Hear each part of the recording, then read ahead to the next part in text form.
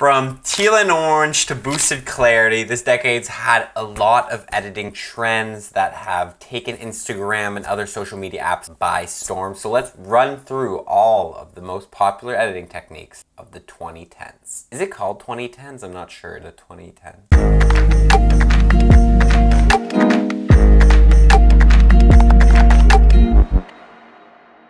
What's up guys, my name is Dax Brule, photographer, videographer from Ottawa, Ontario, and today we're gonna talk about the most popular editing trends of the decade. Let's get right into it. Hitting off number one, I think we all know this teal and orange M31, they call it in the fancy name, I guess. I'm not sure. I'll be honest, I've only been doing photography for three years. So I'm not 100% sure if it was a thing before 2010. I'm sure it was. It's a Hollywood look for sure. But 2010 took Instagram by storm, teal and orange. If you don't know teal and orange, you're pretty much gonna be using these two complementary colors, teal and orange. You're gonna be putting your teal into your shadows and your orange into your highlights by using split toning or camera calibration other tools like that. And it gives a really good look. I'll be honest, all photos would look good with a teal and orange look. Even if I make this image teal and orange by making my skin tones more orange and this blue light a little more teal. So I'm not gonna blame anyone for using it. I'm not gonna blame anyone for using any of these techniques. I've used them myself many, many, many, many times because they do look super good. I just think that it has been used very, very often, kind of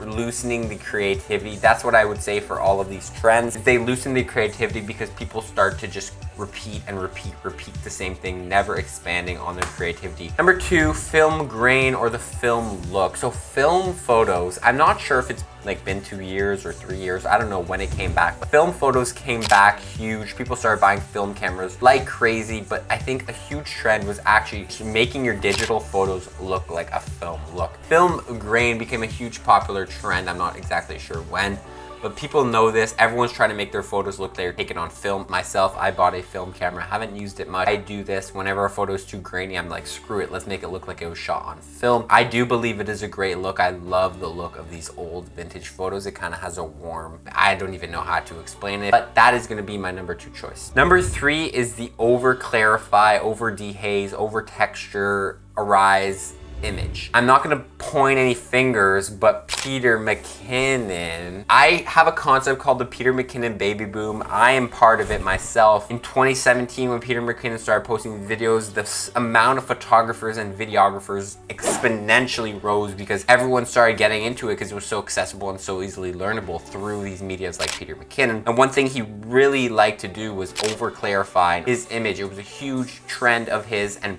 it, it leaked right into Instagram and many people are doing it, myself included. I have been a victim and many photographers when they're beginning do this is they just crank those clarify sliders because they think it looks good. And I'm sorry I don't like the look anymore, but I do think you know, you can do it right. But it is a trend that, that, that took Instagram by storm in 2017, 2018. Is even 2019, people are still doing it. It's just over clarifying your images. Number four choice, softening the blacks for sure was a thing that I see all the time and I just don't like the look of it. What's the word? Fading your blacks for sure. You're gonna grab that tone slider, you know it, and you're just gonna bring those blacks up. It's gonna make it look like a softer cinematic look for sure, I would say. And it, it was, I don't know if it was a trend. I did it myself.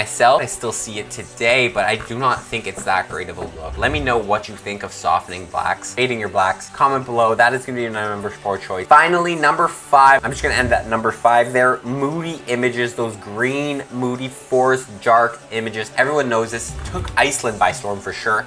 And any area that has those, those trees, it just became a huge popular trend to make your greens super unsaturated, super dark, make those images look super moody. I recently put a video out actually on how to, how to, how to get this look, how to achieve this look. You can check it out right there. This was a super popular trend for sure. It took Instagram, I wouldn't say by storm, I think it was a slow gradual look and many people still do it. I think it looks great. I won't, I won't say it doesn't look great, but it is a trend that was in the decades and that's gonna be the end of the video. Let me know, do you think there's any ones that I missed? I'm sure I missed a couple.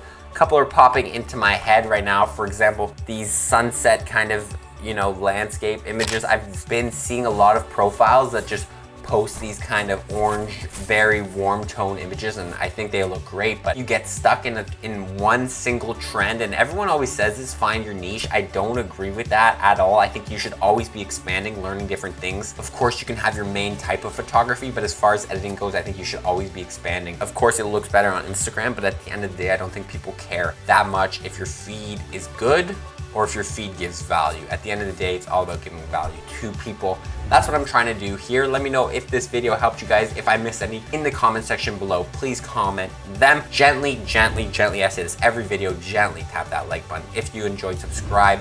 If you're new and you want to have dope videos coming into your inbox every single, actually three times a week, sorry, not every single day. No, no, I don't do that. I'm not that hardcore guy. That notification bell, you know how it is. Um, creators, keep creating. See you guys in the next one. Dab.